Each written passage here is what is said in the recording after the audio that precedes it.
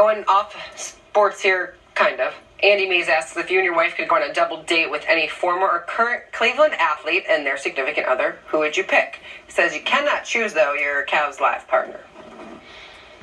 Can I? Um, that's a good question. um, I like Travis Hafner. Travis is a good guy. Probably be Travis and his wife. Oh. That said, can I give you a real quick story about my wife? Sure. This is not to embarrass her. She's not a big sports fan. And when we were getting married, we went to Winter Haven. And we're, we were in an Indians game. We had some really nice seats there at Winter Haven th- back in the day. And Travis Fryman was playing third base for the Indians. And Travis went to the mound, and um, my wife said something, and I said, "Well, his name's Travis Fryman."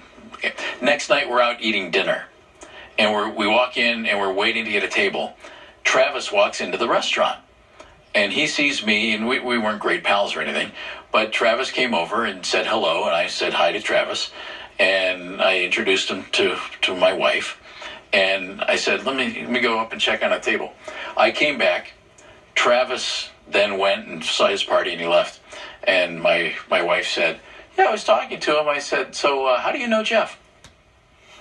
And he said, "Well, I play for the Cleveland Indians." Oh. And I said, "Honey, that's the guy that we were talking about last night with the interesting name." She went, "Yeah."